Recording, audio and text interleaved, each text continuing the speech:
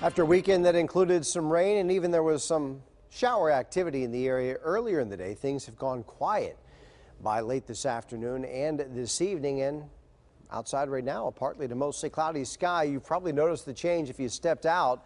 Dew points have dropped considerably. It feels much different, certainly than it did even this morning.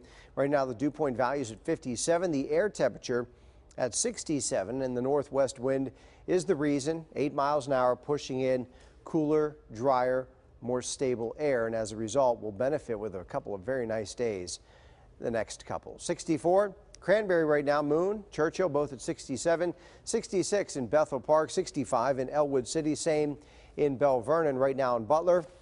64 degrees, same in Latrobe. Indiana's at 66 and 67 in West Mifflin. Over the course of the next several hours, temperatures are going to come down into the low and mid 60s. Outlying areas even cooler than that. By 6 o'clock tomorrow morning, we're anticipating temperatures to dip into the upper 50s across most of the area, even at 7 a.m. 59 in Butler, Greensburg, and Washington at 58 and 59 in Moon. So a comfortable night.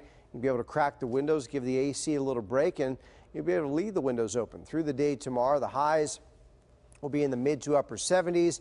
By 5 o'clock, moons at 77 and 76 in Butler, Greensburg, and Washington. Futurecast indicating some patchy clouds in the area right now, but there could be a period late tonight when the clouds take over, at least temporarily. May start off tomorrow with mostly cloudy skies, but as the day wears on, the clouds will decrease. Sunshine will increase. Will end with mostly sunny conditions by 5 o'clock tomorrow.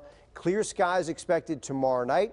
And then through the day on Wednesday, also a lot of sunshine is to be expected with no moisture, no precipitation for at least the next couple of days. Today did feature again a few showers in parts of the area, but all the instability is shifting off to our north and east, and we're getting high pressure, at least the benefit of it, over the course of the next couple of days. So we're literally going to be high and dry tomorrow and right through the day on Wednesday as well. Matter of fact, I think the whole pattern is shaping up that we're going to be fairly dry for the better part, thankfully, of the next week with really our best shot at seeing a few showers not coming until the second half of the day on Thursday.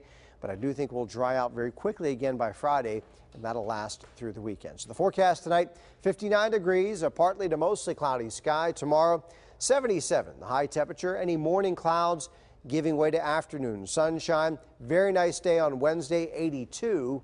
84 on Thursday. Late in the day, there's possibility we could see a few showers, but as I mentioned, it dries out quickly. Seasonably warm right through the weekend with temperatures near 80 Friday, Saturday, and Sunday. Susan.